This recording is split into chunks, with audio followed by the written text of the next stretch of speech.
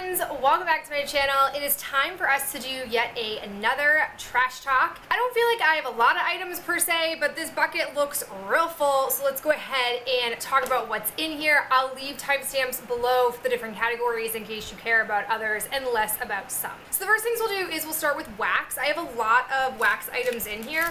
The first thing I have is this little like sleeve of, it was like a zucchini bread wax. This was some of the oldest wax that I had gotten from a D-Stash. The scent throw was just okay. I have a decent number of zucchini based wax blends and I see zucchini stuff a lot on like D-Stash pages and wax groups. I don't really understand the pull of the zucchini scent, but I managed to use this up. I don't know what company it came from, but I wasn't super thrilled by the scent. I also managed to finish up this scoopable wax from Fortune Cookie Soap, which was the You Had Me at Hollow. I don't really think I like scoopable wax. It's not my preferred format. I prefer just like a cube or a single piece that I can unwrap and put in.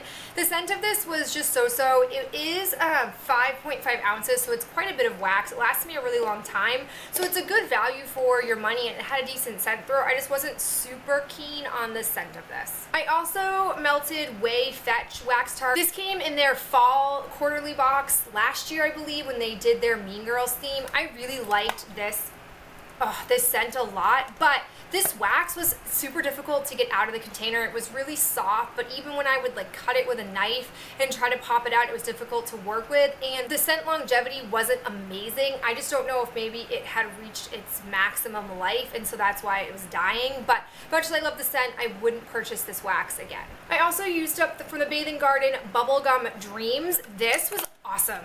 One cube of this will last so long and have such a strong scent throw. I definitely think the Bathing Garden has some of the best performance and bang for your buck with just how much it throws and how long it will throw for. I definitely was intrigued by a bubblegum scent and while I enjoyed this, I definitely got my fix of it and I'm not someone who really would be looking for it again, but I was glad to at least have tried it because I know the bubblegum candle that Bath & Body Works came out with in the wintertime was like a huge hyped up candle and I didn't pick it up. Um, so this sort of was my fix for that. From Scentsationals, I have the Nutty Butter Cookie Bars. Oh my gosh, this was such a good chocolatey scent. I wouldn't really say there's much of a nut note to it or like a peanut note if you're looking for that. It really is just more of a chocolate guy. I paired this up with my um, chocolate and cannoli candle, I think it was, from Bath & Body Works, and the two of those together were such a dream for my living room. I have from Rainbow Melts, this is the Smell the Rainbow Pirate Ship, which is sea salt, pomegranate, and juicy pears.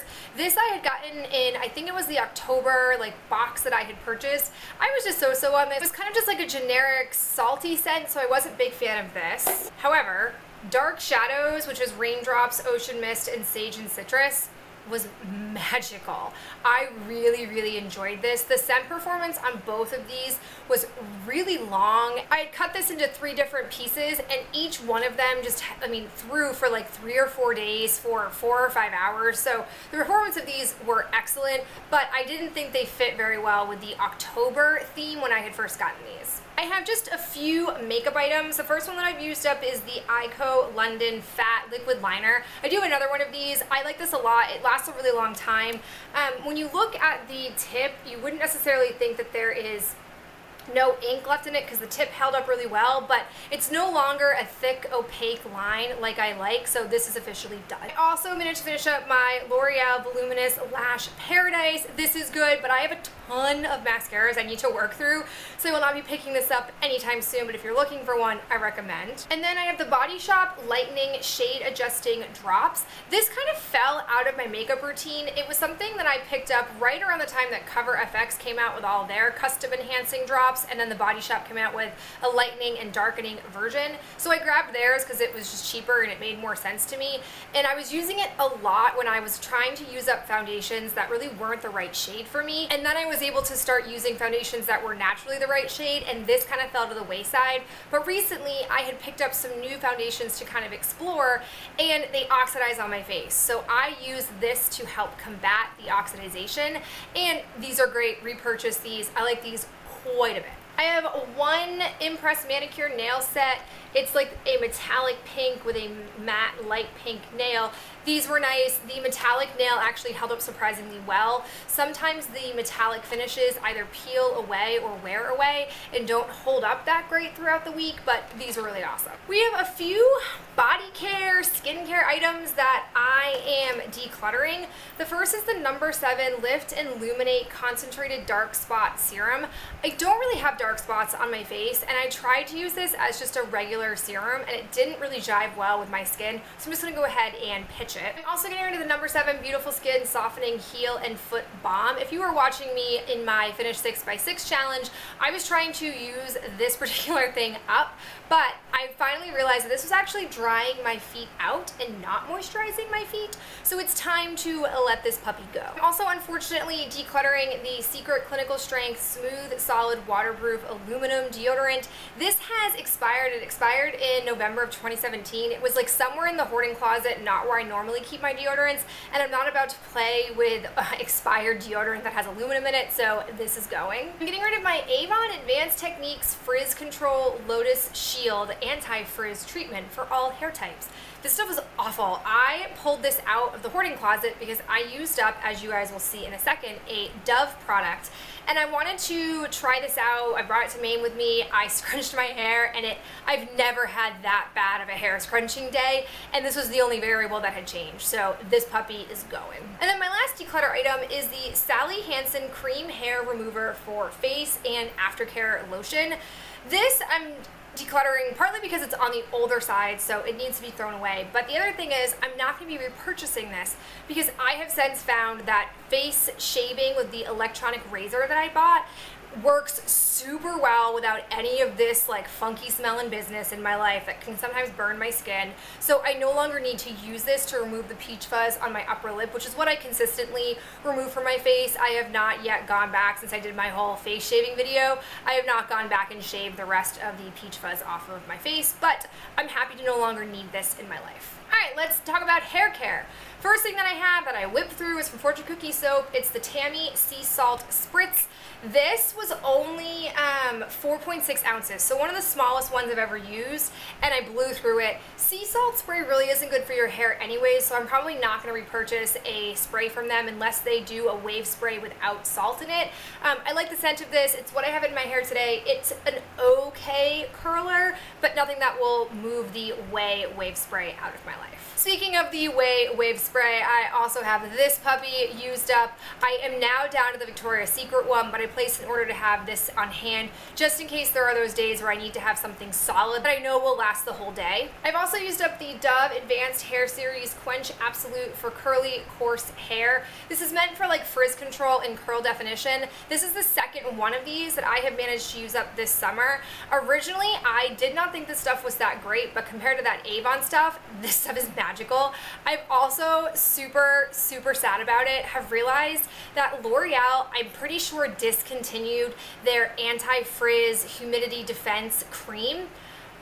I don't know how on earth they could have done that without telling me, and they don't seem to have replaced it with anything. So I don't understand, I don't understand why they would discontinue it, but now I'm on the hunt for something that I can put in my hair before I scrunch it that will help hold the curl, not frizz out, uh, especially against humidity. If you have any recommendations, ideally drugstore based, let me know down below in the comments because literally I'm contemplating in the craziest fashion ever buying two of those L'Oreal humidity creams on eBay, but they're like $50 for what was like a $5 product. So I don't want to do it, but I'm also getting kind of desperate. I have the Shu Emu, I don't know if I'm saying that right, cleansing oil shampoo. I got this is like an Ulta uh, sample. This I thought was interesting. Uh, an oil shampoo I was a little bit weary of, but I will say it's really good at making your hair feel squeaky clean. It is a thinner, almost feels like a hair oil, which would make sense being an oil shampoo. Would I buy it? No, but if I had another sample of it, I wouldn't be upset. I also wanted to try the Body Shop's the Banana Truly Nourishing Conditioner. This packaging was atrocious. It was such a pain in the butt to get product out of. The banana scent on it was pleasant though. I do like banana scented things, but I didn't feel like it was that magical. I am excited. They did recently launch the Ginger uh, Scalp Conditioner, which partners with their Ginger Scalp shampoo that I really like. I'm thinking about buying it, but not until I go through a bit more of my conditioners or if there's on like a good free shipping, good sale type deal. But this I wouldn't recommend. I finally managed to finish up my first mega size of the e.l.f. Daily Brush Cleanser. This stuff I think is just as good as when they had it in the smaller packaging. I definitely take much longer to go through these, so I'm happy that they did bring out a big kahuna, and I will keep working through them. All right, now we got like some body miscellaneous stuff all lumped in one. First we have is my Neutrogena Ultra Sheer Dry Touch Sunscreen Broad Spectrum SPF 55.